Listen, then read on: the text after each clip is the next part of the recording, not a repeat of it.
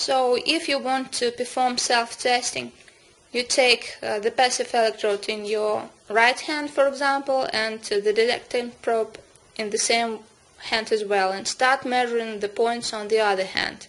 In this case, in our example, on the left hand.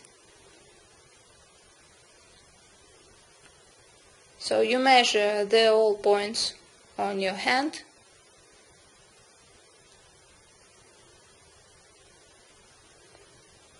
and then change the hands and start measuring the points on the other hand.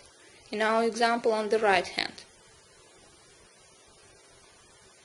So this is how we make self-testing with the device if you want to test oneself yourself.